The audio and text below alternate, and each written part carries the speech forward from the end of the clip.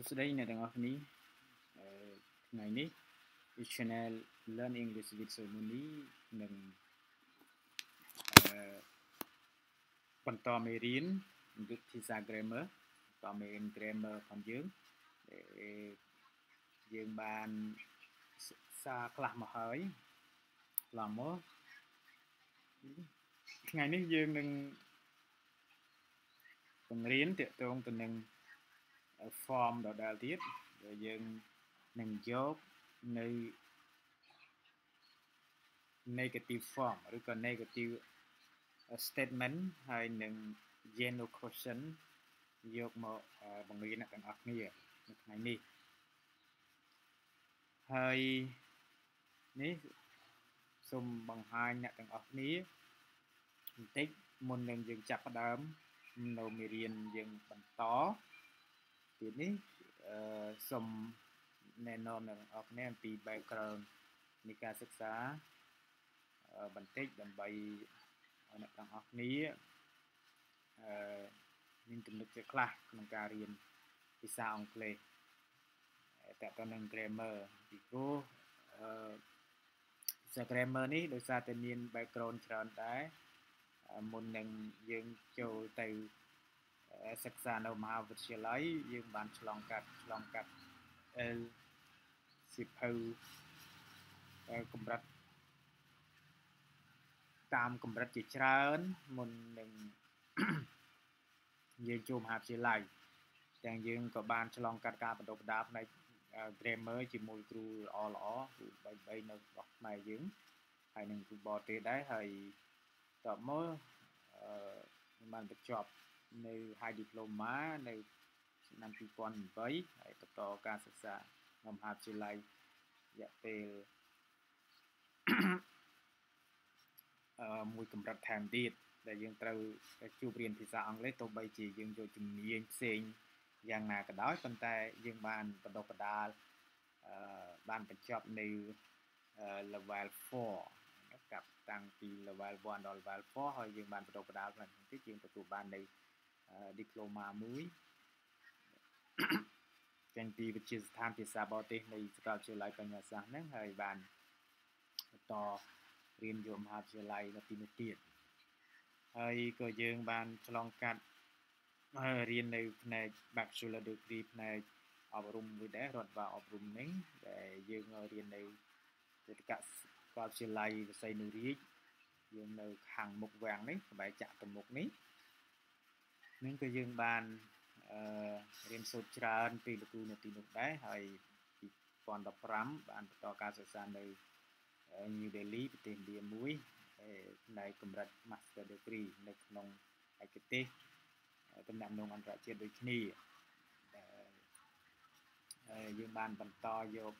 Bachelor Degree ពីសាកលវិទ្យាល័យបញ្ញាសាស្ត្រទៅបន្តនៅទីនោះឥឡូវ យើងទៅភាសា grammar ផងយើងវិញម្ដងហើយបើមានបំណងខ្លះចង់ឲ្យអ្នកសិក្សារៀនសូត្រដែលមានគោលបំណងរៀនភាសា grammar អីក្តីឬក៏ vocabulary យ៉ាងណាក្តីប៉ុន្តែគាត់នៅក្នុងមេរៀននេះគឺយើងផ្ដោតទៅលើ grammar ទៅតាមលំដាប់លំដោយដើម្បីជាមេរៀនសម្រាប់អ្នកទាំងអស់គ្នាដែលប្រាថ្នារៀនភាសាអង់គ្លេសនៅក្នុង grammar អូខេ ថ្ងៃមុនយើងបានរៀនអំពី simple present tense right present simple tense ហ្នឹងគឺយើងបានផ្ដោតទៅលើទម្រង់មួយចំនួន នៅក្នុងរបៀបជាលក្ខណៈបង្កើតរបៀបបង្កើតនៅ affirmative statement នៅក្នុង present simple ណាហើយហើយគ្រូបានយក3 4ទម្រង់នេះយកមកបង្រៀនអ្នកទាំងអស់គ្នាហើយនឹង rule សម្រាប់អ្នកមើល យើងអាចមើលទៅនឹងយល់ឧទាហរណ៍មាននៅក្នុងហ្នឹងយើងនឹងអាចយល់ដែរអញ្ចឹងថ្ងៃនេះយើងនឹងរៀនបន្តពីមេរៀនយើងនៅមុនទៀតអំពីទម្រង់ណានៅក្នុង simple present tense you know because គិតថាវាជារឿងសំខាន់នៅក្នុងមេរៀនហ្នឹងយើងចាប់ផ្ដើមស្វែងយល់ពី ទម្រង់វាសិនរបៀបបង្កើតឲ្យយើងយល់ពីទម្រង់វាសិនថាតើយើងបង្កើតនៅក្នុងទម្រង់ affirmative statement ឬក៏គេហៅថា positive sentence ហ្នឹងតើគេបង្កើតវាម៉េចហើយដល់នៅក្នុង negative statement ឬក៏ negative sentence យើងគេបង្កើតម៉េចអូខេឥឡូវយើងមើលនៅក្នុង slide នេះតែម្ដង We form negative statements in the simple present tense ណា គេហើយយើងអញ្ចឹងយើងបង្កើត negative statement ហ្នឹងនៅក្នុង present simple ហ្នឹងជាមួយអឺយើងអាចដាក់ជាទម្រង់មកថា subject plus do not ណាឬក៏ don't អូខេ do not ឬក៏ don't or does not ឬក៏ doesn't ហើយបូកជាមួយនឹង verb អូខេនេះគឺជារូបមន្តមួយសម្រាប់អ្នកទាំងអស់គ្នាអាចយកទៅបង្កើតខ្លួនឯងបានណា តាមនឹងហើយឥឡូវមុននឹងឧទាហរណ៍បន្តិចអ្នកទាំងអស់គ្នាក៏លេខទៅស្ដាំដៃក៏លេខទៅកន្លែងពាក្យថា notes កត់ចំណាំបន្តិចថាតើ auxiliary verb do បើ do ឬក៏ does នេះគឺជាប្រភេទ auxiliary verb ណា auxiliary verb មានន័យថាជាប្រភេទកិរិយាសព្ទមួយដែលគេយកទៅបង្កើតសំណួររាល់កិរិយាសព្ទណាដែលវាមិនអាច ឈរបង្កើតជាសំណួរបានណាបង្កើតជាសំណួរបានអញ្ចឹងគេខ្ចី auxiliary verb do ឬក៏ does នេះទៅបង្កើតទៅទៅបង្កើតនៅក្នុង negative ឬក៏នៅក្នុងសំណួរប៉ុន្តែយើងនឹងជួបនៅក្នុងសំណួរឥឡូវនេះអ្នកទាំងអស់គ្នាបដោតមកមើលនៅក្នុង negative sense គេយើងមើលពាក្យថា notes គាត់ចំណាំនេះគេអញ្ចឹងយើងឃើញ subject pronouns like I we you and they នេះ use with do subject pronoun everyone please note take note subject pronoun like I we you and they use with do ឃើញទេអញ្ចឹង subject pronoun ដែលមាន I មាន we មាន you និងមាន they នេះគឺត្រូវបានគេប្រើជាមួយនឹង do auxiliary do ណា for subject pronouns like he she and it use with does អញ្ចឹងក្រៅពីនឹងដូចជា he she and it នេះប្រើប្រាស់ជាមួយនឹង does ណាអ្នកទាំងអស់គ្នាមើលយើងមើលហ្នឹងនឹងដឹងហើយដល់ពេលដែលយើងចង់ទៅបង្កើតនៅក្នុងទម្រង់ហ្នឹងយើងអាចធ្វើបានអូខេយើងធ្វើបាន ឥឡូវយើងមើលអឺនៅក្នុងនៅក្នុងឧទាហរណ៍ហ្នឹងឧទាហរណ៍គេថា I don't like tennis អូខេ I don't like tennis យើងយើងនេះគឺប្រើតម្រងកាត់មួយតម្រងផ្លៃមួយឬក៏យើងថា I do not អូខេ I do not like tennis ឬ I don't like tennis we don't like football Miss Kanika does not love me okay he does not like baseball នេះជាឧទាហរណ៍ខ្លះៗសម្រាប់អ្នកទាំងអស់គ្នាយកទៅបង្កើតដល់ខ្លួនឯងហើយស្វែងយល់នៅអ្វីដែលយើងបានមើលហ្នឹងនេះគឺជា negative នៅក្នុងដែលយើងខ្ចី observer do ឬក៏ dash នេះយកមកបង្កើតនៅក្នុង ទម្រង់ negative នៅក្នុងទម្រង់ negative យើងអាចបង្កើតជាច្រើនទៀតយើងយ៉ាងហោចណាស់គឺយើងព្យាយាមធ្វើវាអូខេនៅពេលដែលយើងព្យាយាមបង្កើតវាជារឿយៗយើងនឹងយើងយល់ច្រើនហើយនេះមេរៀនជាមេរៀនស្រាលមួយសម្រាប់អ្នកទាំងអស់គ្នាមិនមែនជាធ្ងន់អីប្រមាណទេប៉ុន្តែសម្រាប់បងប្អូនដែលយើងទើបនឹងរៀនបានន័យថាជាអ្នករៀនភាសាអង់គ្លេសដំបូងជាពិសេសភាសា grammar នេះតែម្ដង ណានេះជាគំរូសម្រាប់អ្នកទាំងអស់គ្នាដើម្បីរៀនសូត្រអូខេឥឡូវយើងងាកទៅមើលមួយផ្នែកទៀតណាយើងទៅមើលមួយផ្នែកទៀតនៅក្នុង yes no question ម្ដងទម្រង់ yes no question តែម្ដងទី3នេះគឺយើងបង្កើត yes no question តើយើងបង្កើតដោយរបៀបម៉េចណា yes no ស្អីទៅ yes no question what is yes no question ណាវា okay we form yes no question in a simple present tense with do or does plus subject plus verb អូខេនៅនេះអ្នកទាំងអស់គ្នាយើងបង្កើតទម្រង់ yes no question មានន័យថាយើងត្រូវដាក់កិរិយាសព្ទនៅខាងមុខនៃ subject កិរិយាសព្ទនៅខាងមុខនៃ subject ឥឡូវយើងយក auxiliary verb do ឬក៏ does នេះយកមកបង្កើតនៅក្នុងទម្រង់នឹងទៀត អូខេអឺយើងប្រើ do ឬក៏ does auxiliary verb do ឬក៏ does នេះនៅខាងមុខនៃប្រយោគសំណួរហ្នឹងនៅខាងមុខនៃប្រធានហ្នឹងឃើញទេអ្នកទាំងអស់គ្នា do នេះ do do ឬក៏ does នេះដល់មក plus បានបូក subject ដល់មកបូក verb អូខេ insert answers we use a pronoun subject plus do done or does or doesn't បន្ទាប់ពីយើងបង្កើតសំណួរណាបង្កើតសំណួរហើយគេឲ្យយើងឆ្លើយតើរបៀបយល់អំពីការឆ្លើយនៅក្នុងប្រយោគសំណួរនឹងយើងយ៉ាងម៉េចយើងប្រើរបៀបម៉េចវិញណាអញ្ចឹងនៅក្នុងចម្លើយខ្លីឯអ្នកទាំងអស់គ្នាថា insert answer we use a pronoun subject plus do done ឬក៏ does ឬក៏ doesn't តើនេះយ៉ាងអញ្ចឹងនៅខ្ញុំយើងពេលយើងឆ្លើយនៅក្នុងទម្រង់ខ្លីវិញយើងយើងឆ្លើយចម្លើយខ្លីគឺថាយើងប្រើប្រាស់អា subject pronoun មិញដែលយើងបង្ហាញ subject pronoun ហ្នឹងយកមកឆ្លើយនៅក្នុងទម្រង់ហ្នឹង OK OK ឥឡូវយើងងាកមុននឹងបង្កើតសំណួរហើយឆ្លើយយើងងាកទៅ note បន្តិចទៀតព្រោះមិញបានបញ្យល់ហើយអំពីឲ្យអ្នកទាំងអស់នេះកត់ចំណាំ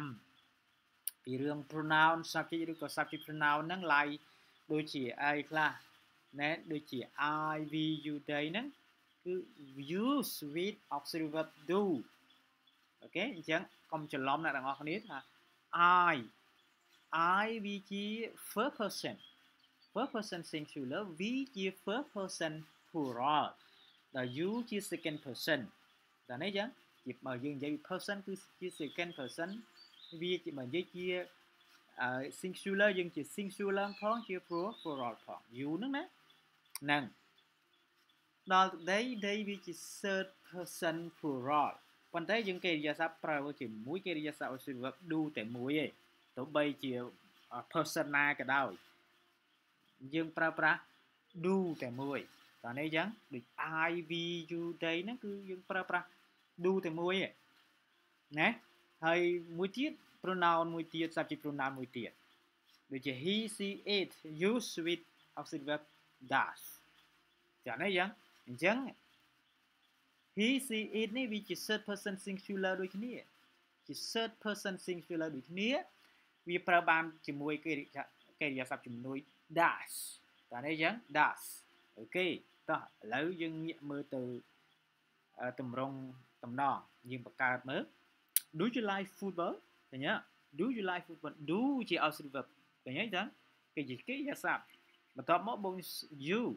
you គឺជា subject តើនេះយ៉ាងអ្នកទាំងអស់គ្នា you នេះ you នេះ you គឺជា subject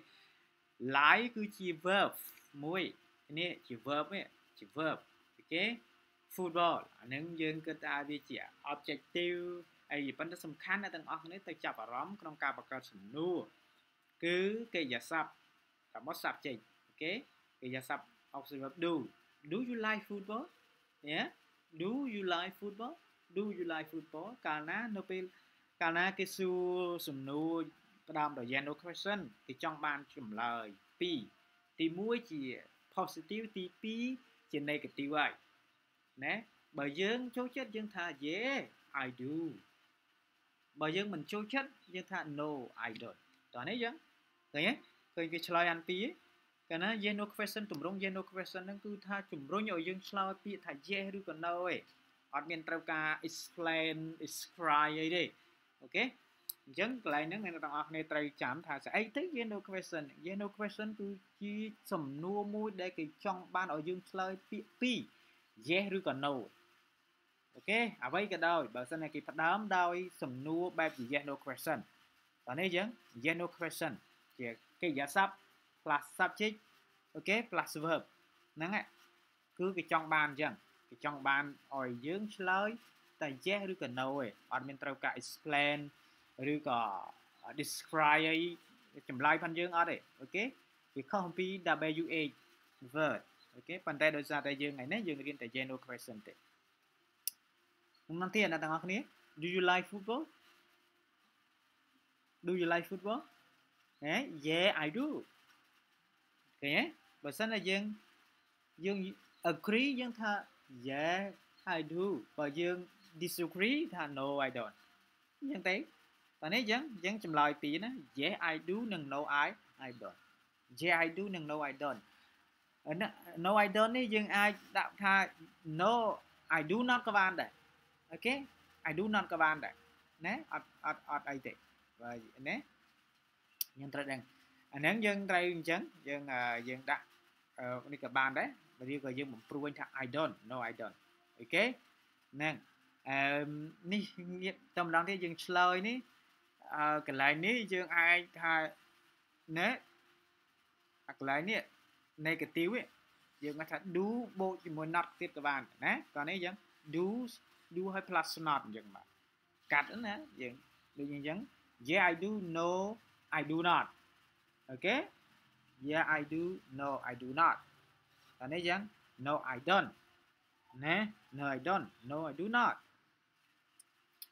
does miss Pray Phnom love me does miss does miss Pray Phnom love me does me does miss ព្រៃភ្នំ love me ឃើញទេយើងតើតើព្រៃកញ្ញាព្រៃភ្នំឆ្លាញ់ខ្ញុំអត់តែយើងយើងឃើញ miss ព្រៃភ្នំគឺជាជាជាជា subject pronoun សារីជា subject ជា subject មួយគេហៅជាជា noun ជាជា noun person តើនេះយើងជា noun person បើសិនតែយើងយក pronoun យក subject pronoun ណាទៅជំនួសបើសិនតែយើងយកយក subject ណាមួយ he she it យកណាអញ្ចឹងយើងយក C ដោយសារតែព្រៃភ្នំនេះ Miss ព្រៃភ្នំគឺជាស្រី តែនេះយើងជាស្រីដូច្នេះយើងយក C ណែយើងយក C ដូច្នេះកាលណាយើងយក C នៅក្នុង subject pronoun នេះយើងយក pronoun ទៅជំនួសយើងយក subject pronoun C យកទៅជំនួសហ្នឹងអញ្ចឹងដោយសារតែ Miss ព្រៃភ្នំនេះគឺជា person ជា person ជា noun person ហើយជា singular ទៀត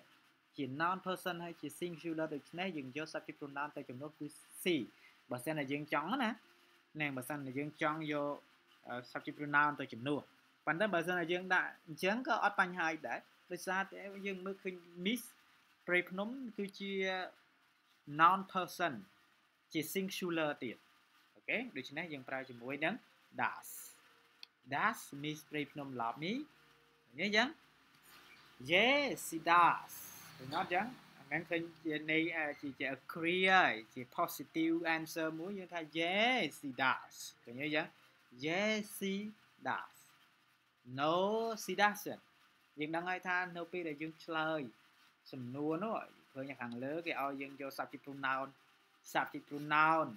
យកទៅឆ្លើយហើយនៅក្នុងចម្លើយហ្នឹងណាចម្លើយជា negative ក៏ដោយចម្លើយជា positive ក៏ដោយអូខេទៅទៀត do you like drinking coffee ណា do you like drinking coffee do you like drinking coffee តើណាជួយចិត្តពិសាកាហ្វេទេជួយចិត្តផឹកកាហ្វេទេជួយចិត្តទេ do you like drinking coffee do you like drinking coffee ណាអឺតើណាជួយចិត្តផឹកកាហ្វេទេបើសិនតែយើងជួយចិត្តគឺណា yeah i do ហើយបើមិនចូលចិត្តទេ no i don't ឃើញទេចឹងអ្នកទាំងអស់គ្នាហើយសូមបញ្យល់បន្តិចថានៅពីខាងក្រោយគេយ៉ាសាប់ lie កំដាគេយ៉ាសាប់ lie វាជា finite verb មួយដែលអឺនៅពីខាងក្រោយបន lie គេយ៉ាសាប់ lie គឺប្រើបាន2ទី1ជា gerund ទី2ជា to infinitive នេះដែលយើងតប្រើពីខាងក្រោយ lie នេះគឺយើងប្រើជា gerund តោះនេះអញ្ចឹងនេះច្រើន Do you like Do you like drinking coffee Do you like drinking coffee តើអ្នកចូលចិត្តផឹកកាហ្វេ Do you like drinking coffee Yeah I do No I I don't យ៉ាងណាក៏ដោយយើងនៅតែឆ្លើយតែតម្រង់ពីរហ្នឹងអត់មានត្រូវការ explain ឬ describe ទេអ្នកទាំងអស់គ្នាទោះបីសំណួរវិញយ៉ាងណាក៏ដោយយើងត្រូវតែយើងត្រូវតែមើលថាតើសំណួរវាចង់គេចង់បានសំណួរអីគេចង់បានចម្លើយរបៀបម៉េចទោះបីបើយើងឃើញអឺសំណួរភាសាអង់គ្លេសខ្លះផ្ដើមដោយ yes no question វែងណាប៉ុន្តែយើងត្រូវតែមើលហ្នឹង ណាត្រូវតែមើលដើមតែកិរិយាសព្ទអញ្ចឹងណែបើសិនតែវាអត់មិនមែនជា WH word ទេ យើងត្រូវតែឆ្លើយតែចម្លើយពីរហ្នឹងឯង yes ឬក៏ no ណាយើងជ្រើសរើសណា choose តែពីរហ្នឹងទេ choose ខុសខុសហើយត្រូវត្រូវហើយណាហ្នឹងមិនមែនស្រួលដែរណាតាមពិតទៅយើងឆ្លើយបើសិនតែធ្វើសំណួរអីវែងគេដាក់ឲ្យយើង multiple choice អីណាអាហ្នឹងយើងប្រយ័ត្នប្រយែងដែរអូខេ Do you like drinking coffee? Yeah, I do. No, I don't. Okay. Does Mr. Mitupum like to drink coffee? ឃើញទេយ៉ាងនេះមិញបញ្យល់ថានៅពីខាងក្រោយកិរិយាសព្ទ lie នេះគឺយើងប្រើចរន្តឥឡូវយើងប្រើជា to infinitive វិញនៅគេខាងក្រោយកិរិយាសព្ទ lie នេះយើងប្រើ to infinitive ឃើញទេ to drink lie ហើយ to drink coffee យើងប្រើ to infinitive វិញឃើញទេយ៉ាងណាណា Does Mr. Mitterpum like to drink coffee តើ Mr. Mitterpum ចូលចិត្តផឹកកាហ្វេឃើញទេយ៉ាអេ Mr. Mitterpum no Mr. Mitterpum គាត់ជាជា noun person ដែរជា noun person ហើយ singular ទៀតណា noun ជា noun person ជា singular ជាឈ្មោះជា noun មនុស្សជាឈ្មោះជានាមមនុស្សណាជាឈ្មោះមនុស្សដូចយ៉ាងយើងឆ្លាតយើងយក subject pronoun យកមកជំនួសពីព្រោះអានឹងជាក្បួនខ្នាតថាគេថា ឆ្លើយត្រូវតែយក subject pronoun យកមកជំនួសអូខេ Does Mr. Mitterpum like to drink coffee? Yes, he does. No, he doesn't. Yeah. Does Mr. Mitterpum like to drink coffee? Yes, he does. No, he doesn't.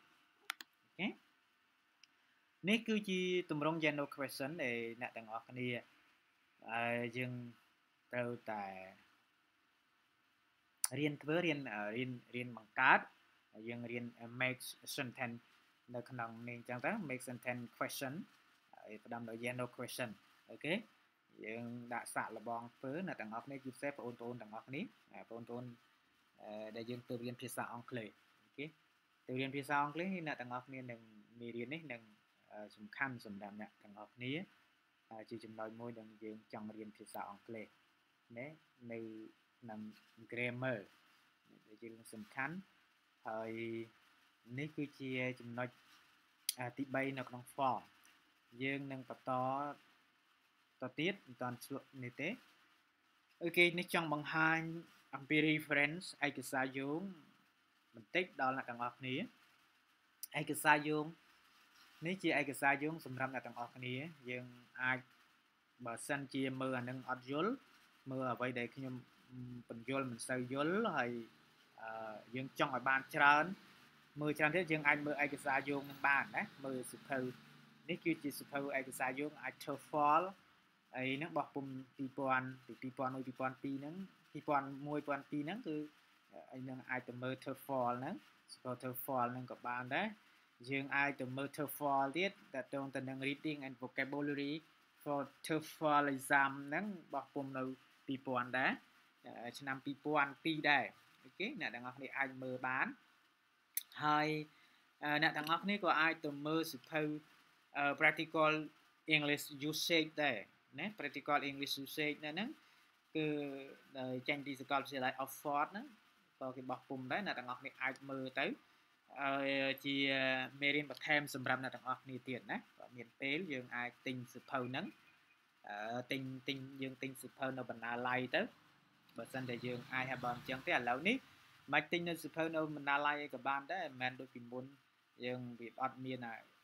នៅលើអនឡាញហើយពិបាកអ៊ីនធឺណិតអីនេះទេឥឡូវហ្នឹងអ៊ីនធឺណិតក៏វាសម្បូរបែបដែរអ្នកនរគ្នាអាច check មើលក្នុង website ក៏បានដែរណាហើយ check មើលហើយមួយស ភៅទាំងអស់ហ្នឹងនៅក្នុង website មេរៀនអីក៏យើងអាចនិយាយតាក់ទងនឹងអឺបើអ្នកមិនតាន់គ្រប់គ្រាន់មានន័យថាក្រែងលោកវានៅចង្កង្វះខាតកន្លែងណាមួយអ្នកទាំងអស់គ្នាអត់តាន់បានយល់យើងអាចទៅស្រាវជ្រាវបន្ថែមតោះនេះអញ្ចឹងនេះជាបន្តបន្ទាប់នេះជាយើងអាចណាមើលនៅ grammar គេ grammar ពីអក្សរ A ទៅដល់អក្សរ Z ហ្នឹងគេថា A to Z A to Z of English grammar and usage ហ្នឹងបោះពុំ2009ដែរអឺបកប្រែចេញពីភាសាបោះពុំនៅហូជីមិញទៅនៅវៀតណាមខាងត្បូងអូខេហើយបន្ទាប់មកអ្នកទាំងអស់គ្នាអាចទៅមើលសភៅ understanding and using english grammar ដែរ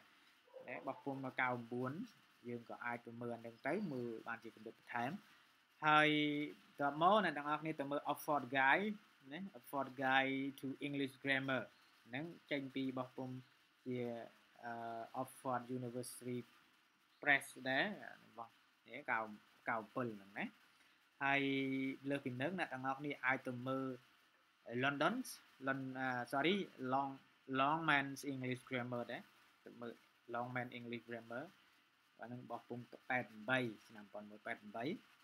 ហើយមួយទៀតអ្នកទាំងអស់គ្នាក៏អាចទៅមើល Spectrum ណាបើមិនមើលអីផ្សេងក៏យើងមើលអាសភៅស្ដាងស្ដាង Grammar Spectrum 3ហ្នឹង level 3ហ្នឹងគឺយើងនិយាយពី English rules and practice ដែរណាអ្នកទាំងអស់គ្នាអាចទៅមើលឯកសារយោងនឹងថែមទៀតទៅនេះបន្ថែមទៀតឯកសារយោងនេះដែលអ្នកទាំងអស់គ្នាបើមិនទាន់គ្រប់ជ្រុងជ្រោយអីទេអ្នកទាំងអស់គ្នាអាចទៅរកមើលស្វែងមើលថែមទៀតទៅ Grammar for English Language Teacher ណែអានេះចេញមកពី Cambridge University ដែរឬក៏ Cambridge Press ហ្នឹងហើយ English Grammar Intermediate Reference and Practical Books ហ្នឹងក៏អ្នកទាំងអស់គ្នាអាចទៅមើលថែមទៀតទៅហើយនេះអ្នកទាំងអស់គ្នាទៅមើល grammar form and function ណារបស់របស់ពុំដោយ ក្រុមហ៊ុន Macro Hill ណាក្រុមហ៊ុន Macro Hill នេះគឺក្រុមហ៊ុនដែលល្បីល្បាញរបស់ពុំដែលសភៅដែលល្បីល្បីច្រើនណាក្រុមហ៊ុនហ្នឹងហើយភៅល្មមល្មមគាត់របស់ពុំឯងក្រុមហ៊ុនគេហ្នឹងវាក្រុមហ៊ុនវាល្បី Macro Hill ហ្នឹងអូខេហើយក៏អាចទៅមើលដែរទៅមើលឋានទៀតទៅហើយបន្ទាប់មកនេះអ្នកនិពន្ធជនជាតិខ្មែរយើងនេះគាត់អ្នករៀបរៀងជាជនជាតិខ្មែរគាត់ឈ្មោះឈួនចិន្តា គាត់ឈួនចិន្តានេះគាត់ទៅសេអឺគាត់ស្រាវជ្រាវជាអត្ថបទស្រាវជ្រាវដែរគាត់ដាក់ចំណងជា Special English Grammar and Analysis for High Learners នេះគាត់គាត់ឃើញសភៅគាត់ល្អដែរគាត់អ្នកទាំងអស់គ្នាអាចទៅស្វែងរកមើលបានបានបានផងដែរណាប៉ុន្តែបើមិនមែនការបោះពុំទេកាន់សរសេរគាត់ជាលក្ខណៈនេះមួយប៉ុន្តែល្អអឺគាត់ស្រាវជ្រាវដែរហើយ ការស្រាវជ្រាវផងគាត់ហ្នឹងគឺល្អខ្ញុំសរសើរដែរគាត់ដាក់ special english grammar ហ្នឹងហើយនឹងវិភាគវិភាគហ្នឹងគឺវិភាគទៅលើ structure ដាក់អីហ្នឹងណាដើម្បីងាយស្រួលដាក់ខ្លីៗៗសម្រាប់អ្នកសិក្សារៀនសូត្រអូខេហើយ TOEFL ណា TOEFL CBT ហ្នឹងបពុំ2000មក2000 2000មក2002ហ្នឹងអ្នកទាំងអស់គ្នាមើលថែមទៀតទៅណែបានជា Netherfall ណែ CBT ហ្នឹង CBT CBT ហ្នឹង the, the super guy ហ្នឹងក៏អ្នកទាំងអស់គ្នាមើលទៅបោះពុំនៅ New Delhi នេះអរគុណច្រើន thank you for paying your attention អរគុណអ្នកទាំងអស់គ្នាសម្រាប់ការយកចិត្តទុកដាក់នៅក្នុង slide grammar នេះសង្ឃឹមថាអ្នកទាំងអស់គ្នានឹងអឺនេះចម្រុងចម្រើនផ្នែកភាសា grammar នេះជាយ៉ាងណាក៏ដោយមេរៀន slide នេះមិនទាន់គ្រប់ជ្រុងជ្រោយ អីនៅឡើយទេគ្រាន់តែវាជាចំណែកមួយជួយអ្នកទាំងអស់គ្នាណាហើយដូចអឺបង្ហាញអំពី reference នេះអញ្ចឹងអ្នកទាំងអស់គ្នាអាចទៅមើលថែមណាបើសិនតែយើងមើលថាការបញ្យលនឹងឬក៏តម្រងដែលបានបញ្យលនឹងវាអត់តគ្រប់គ្រាន់នេះ reference ទាំងអស់ហ្នឹងអ្នកទាំងអស់គ្នាអាចទៅមើលថែមបានណាមិនមិនមានបញ្ហាអីទេអ្នកទាំងអស់គ្នាស្រាវជ្រាវព្រោះអឺគ្រប់គ្នាយើងពឹងផ្អែក គឺលើការស្រាវជ្រាវណាលើការស្រាវជ្រាវនៅបទពិសោធន៍ដែរហើយការបង្រៀន grammar នេះគឺបានក៏មានបទពិសោធន៍រយៈពេល4ឆ្នាំដែរនៅសាលាវិទ្យាល័យពុទ្ធិកវិទ្យាល័យអឺផងដែរទៅលើភាសា grammar នេះដូច្នេះសង្ឃឹមថាអ្នកទាំងអស់គ្នានឹងរីកចម្រើនណាហើយបងប្អូន សិស្សានុសិស្សដែលរៀននៅថ្នាក់អឺ secondary high school secondary school និង high school អីហ្នឹង